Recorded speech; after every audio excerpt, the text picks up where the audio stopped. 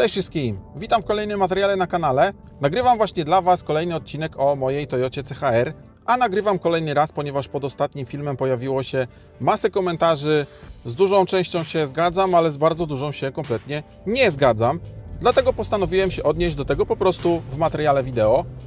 Myślę, że to będzie ciekawy odcinek, bo widzę, że ten poprzedni wywołał dosyć duże poruszenie, ale dzisiaj podczas nagrywania tego materiału o samochodzie używanym pomyślałem sobie, że skoro partnerem mojego kanału jest Car Vertical, czyli firma, dzięki której możemy sprawdzić sobie samochód przed zakupem, a nie ukrywam, że dostaję od Was dużo zapytań odnośnie i nowych, i używanych aut, postanowiłem nagrać taki film, w którym po prostu siądę sobie przed komputerem, wejdę na portale, w których po prostu szukamy ogłoszeń szukamy samochodów używanych i wykorzystując właśnie współpracę z Car Verticalem i to, że mogę sprawdzić sobie wiele samochodów po prostu pobierając raport, sprawdzę te auta z czystej ciekawości i też oczywiście z chęci pokazania Wam, w sumie też sobie, jak to wygląda na naszym rynku. Nie mam zielonego pojęcia, jak to wyjdzie, bo od razu zaznaczę, że robię to bez żadnego scenariusza. Nie zakładam, że co drugi samochód będzie uszkodzony albo każdy będzie fantastyczny. Po prostu, nie wiem, sprawdzę na przykład 20 samochodów i zobaczymy, ile z tych aut jest zgodnych z opisem, z tym, co pisze ich właściciel. Także wracam do domu, siadam przed komputer i sprawdzamy.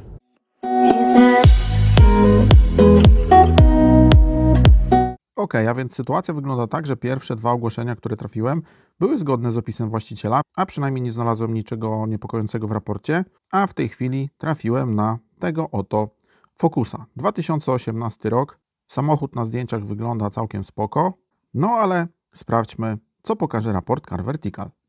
Pierwsza informacja, którą widzimy, to że przebieg kradzież i taksówka, tutaj mamy wszystko ok, ale widzimy, że samochód miał wypadek. Uszkodzenie miało miejsce w Stanach Zjednoczonych i zaraz zobaczymy, jak to wyglądało. Dochodzimy do zdjęć. No i pięknie. To nie była żadna delikatna obcierka albo wymiana reflektora. Widzimy, że samochód jest mocno uszkodzony. Powiększmy sobie troszkę zdjęcie. Tył raczej nieruszony. Tutaj z wnętrza też nic nie widzimy, no ale ten przód wygląda naprawdę słabo. Nie chciałbym trafić takiego samochodu i kupić go bez takiej wiedzy. No a jak dzisiaj widzimy, samochód prezentuje się super. Dobra, idźmy dalej. Kolejnym samochodem, który przykuł moją uwagę, jest ten oto Ford Fusion. Samochód również ściągany ze Stanów Zjednoczonych. Sprawdźmy sobie, co pisze właściciel, czy w zasadzie sprzedawca. Najbogatsza wersja Titanium, radar, tempomat, ble, ble, ble. Dwa oryginalne kluczyki, fotele, kierownica, zapraszam na jazdę próbną. Wyrażam zgodę na sprawdzenie samochodu na stacji diagnostycznej. To jest akurat bardzo w porządku. No tyle, że ja już pobrałem sobie raport i zwróćcie uwagę, jak samochód wygląda dzisiaj. Ale wskakujemy na raport Car Verticala i mamy tak. Przebieg, kradzież jest ok, nie, pojazd nie był również taksówką, ale miał wypadek. Lecimy do zdjęć. No i jesteśmy i sytuacja wyglądała tak. Powiększmy sobie troszkę zdjęcia. Nie jest to może jakaś tragedia, ale to znowu nie jest żadna obcierka. Też zwróćcie uwagę, co dzieje się w okolicy drzwi. Mamy całkiem walnięte koło, nierówne drzwi. Tutaj tył chyba ruszony nie był podobnie, ale o, widzimy na przykład, że strzeliły poduszki. To znowu nie jest samochód, który był lekko obtarty. Co prawda sprzedawca tego nie napisał, że to było jakieś lekkie uszkodzenie i bardzo dobrze. No ale ja chciałbym wiedzieć, że samochód, którym się interesuje, wyglądał niedawno tak. Lećmy dalej. Skoczyłem sobie na inny portal, bo też chcę jasno zaznaczyć, że tutaj jakby o to moto, czyli każdego portalu nie ma w żaden sposób co obwiniać, bo jeśli ktoś sprzedaje samochód, w którym coś się działo, no to jest to kwestia sprzedawcy. Tutaj na przykład znalazłem Peugeotika 208 z 2016 roku, w miarę świeżutki samochód. No i wskakujemy do raportu. Znowu taka sama sytuacja, czyli samochód jest powypadkowy. Lecimy do zdjęć. Tutaj sytuacja chyba nie wygląda aż tak źle, chociaż uszkodzony był też tył. Dziwnie było i z tyłu i z przodu, także tutaj mogło się wydarzyć dużo więcej rzeczy niż to może wyglądać na pierwszy rzut oka. W każdym razie, mając taką wiedzę, widząc takie zdjęcia, no widzimy nawet obdarty fotel, no ja już temu autu przyjrzałbym się zdecydowanie bliżej z każdej strony bo Tutaj się też trochę zadziało. Lecimy dalej. Kolejne dwa samochody, które sprawdziłem, również były w porządku. Nie znalazłem u nich nic niepokojącego. Nie pamiętam już w sumie, straciłem rachubę, ile było ok, ile nie, może pamiętacie. No ale aktualnie trafiłem na takie oto BMW X4. 2015 rok, 114 tysięcy. Samochód aktualnie wygląda super. Zobaczmy, co pisze właściciel. BMW, ble, ble, ble. Wgrany polski język. Pierwszy właściciel w Polsce, auto ściągnięte z USA na własny użytek, dysponuje zdjęciami w momencie zakupu po lekkiej szkodzie. Żadna poduszka powietrzna nie wystrzeliła. Za auto gwarantuje i tak dalej. No dobra, sprawdźmy raport. BMW X4 i dwie rzeczy. Po pierwsze wyświetla się przebieg, po drugie wypadek. No ciekawe, jedziemy dalej. Przebieg. Tu jest jakaś dziwna sytuacja, tak jakby w 2021 roku w marcu przebieg spadł, no takie dziwne na 24 km. Nie wiem do końca o co chodzi, ale coś tutaj jest nie tak. Może samochód był wtedy ściągany, może coś się źle, że tak powiem, wgrało do systemu. Nie wiem, ale na pewno bym to sprawdził. Gdzieś problem mógł być, przy czym zobaczmy też, jak wyglądało uszkodzenie. Miało być nieduże. Mamy zdjęcia, no i to wyglądało tak. Może jakiejś wielkiej tragedii nie ma, ale to znowu nie jest nic delikatnego. Tym bardziej, że to jest i przód, i tył.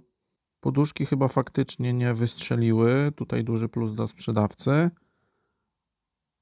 Ale na pewno, jeśli to miało być jakaś kwestia i przebiegu, i uszkodzenia, no to ja bym się dokładnie przyjrzał zdecydowanie.